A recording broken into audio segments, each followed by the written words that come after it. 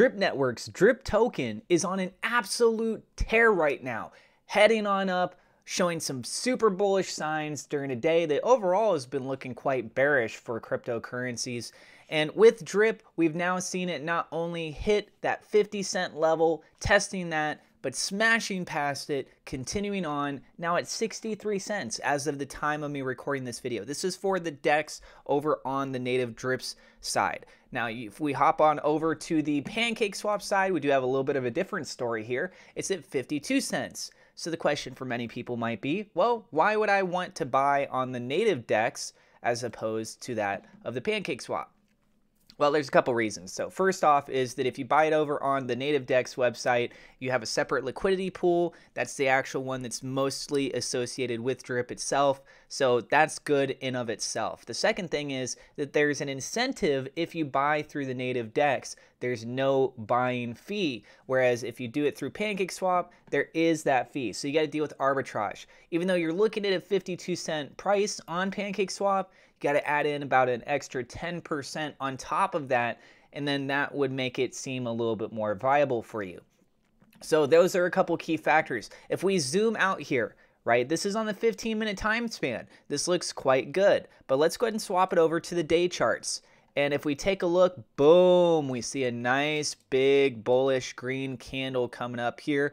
Volume definitely starting to ramp itself up. And guess what, guys? This is without so many things that are still right around the corner. We're talking about there's marketing campaigns with different influencers that's been talked about from Forex Shark. And a lot of that marketing that's been going on lately, basically all the marketing, has been focused on the animal farm.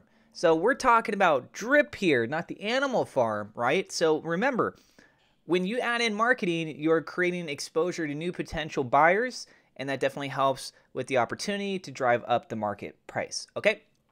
And market orders. So when we take a look at this here, we see a nice green candle going on. What other utilities do we have to look forward to that's primarily looking like it's driving this? We have things such as the Drip Drop Draw. This is a community-based project. I have another video that I've talked about this before. I'll include a link to that video down in the description below. And with that project, guys, basically in short, it's a raffle-based system, and even if you lose, you still get something back, and it helps feed back into the drip faucet. That's one key thing. So you're seeing a lot of people in the community space that are talking about that. They're really excited about it. That is supposed to be coming out with the Drip UI, which has been estimated to be around the early part of March. And here we are, we're one week away from March itself. So if this stuff does fall in line, then we're looking at it being anywhere from ideally, you know, probably two weeks away to maybe five weeks away Hopefully, they keep these things on track. We know that with the history of stuff with Forex Shark and just how this stuff tends to play out, that things end up getting delayed. But we've heard about the UI for a long time now. I would hope that at this point, we're going to have something a little more reliable. Plus, keep in mind, there's also an AMA that's coming up in just tomorrow. I was about to say in two days, but it's actually tomorrow. It's right around the corner. That's on a Thursday. And we typically see these AMAs with Forex Shark on Thursdays. So there's that. Now let's go ahead and zoom out on the chart here. Obviously, if we zoom out, you're going to see what? A lot of red. A massive, massive amount of red. And that doesn't look good, right? There's definitely concerns there. And it's understandable if people look at this and they say, as you zoom out, look at where it's at now and where it was before. It's down tremendously. And guys, I get it you have to look at the circumstances revolving around this and the fact that this is a project that, through a massive bear market, has been able to continue to pay out its 1% rewards in that drip. There's still liquidity, the developers did not rug pull, and that's saying a lot more than what happened to a, lot of other projects, especially other projects that try to have a similar business model as this over the course of the last year. So you add in the additional utilities, such as the animal farm, you have the drip USD liquidity pairing. That in itself creates an opportunity to relieve some of that selling pressure. Remember, you can buy this, you can trade it proactively on the market if you want to. You can also stake it in various avenues, such as the faucet, the reservoir, the animal farm, And that's just to get started. We're not even talking about the other stuff that's looking to come out here in the future with the new Drip UI. We're looking at fiat on ramping, off ramping opportunities. We're looking at uh, a game that's coming out, at least one game, Scratchies, which is different from the Drip Drop Draw. The list is going on, right? I'm even talking in considerations about seeing a, a new game concept idea. I'm not going to talk about the details here right now, but I thought of it last night and I'm trying to talk it over with them. I think it's a really cool idea, and we'll see where that goes in itself. Okay? So, sure, when you zoom out on the charts, this doesn't look great, but if you look at it on a micro perspective, it does look great. Because, for example, when we zoom in here, you can see that we have these tendencies of going for two or three days in a row of green, and then boom, it ends up falling down harder. We can see that on a repeated pattern, right? So you might be asking yourselves, why is this different? This is different because we just had a very short time span where after those three days of run up, it pulled back and now the green ran up once again and actually exceeded above the previous green climb up. So that is in of itself a trend change pattern. And with everything that we've been looking at, the circumstances again, adding in the utilities, adding in a reason why people want to actually buy this now, and having the FOMO. That FOMO really kicks in once people are very proactively in the chat talking, they're excited, right? This is just normal buying behavior. So we're seeing that taking place right now. Remember, the market is not great today. The crypto market is quite bad. Let's pull that up. So take a look at this, guys. We're looking at most of the market for crypto in the red. Not a substantial amount down. It's not 8%, 10% or more, but we're seeing Bitcoin's down, Ethereum's down, BNB, AVAX, the list goes on and on and on, right?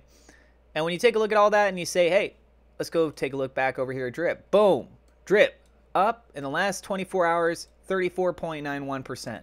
You might be asking yourselves, okay, well, is that a pump and dump type situation? Let's be real. Again, right? I try to be very, very real with you guys on all of this stuff.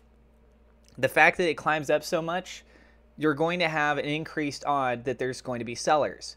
One of the things that I took notice of is that we now have substantially more drip liquid in people's wallets.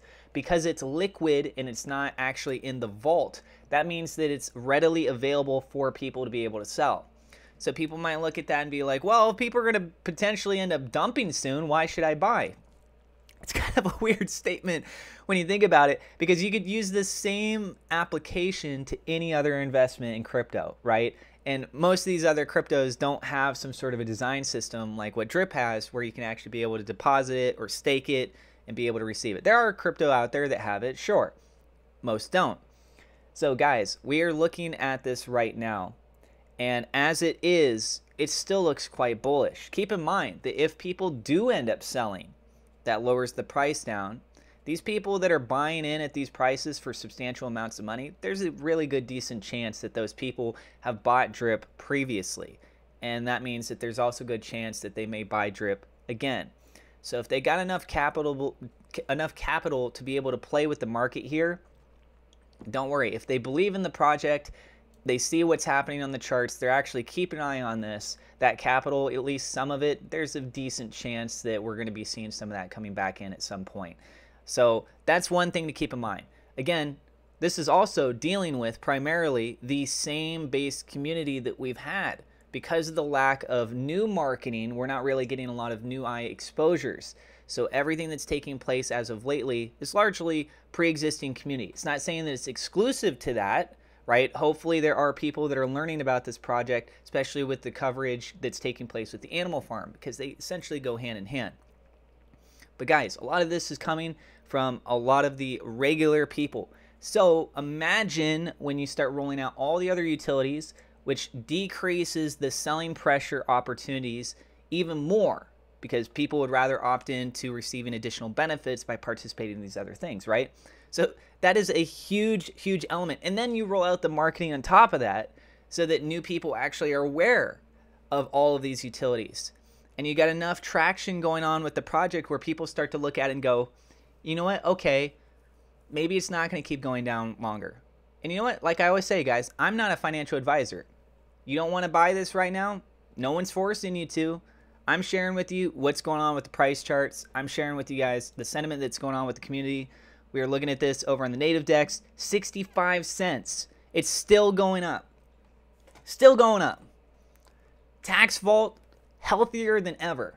Why is that tax vault so important? Because that's what pays out those daily rewards if you participate in the drip faucet.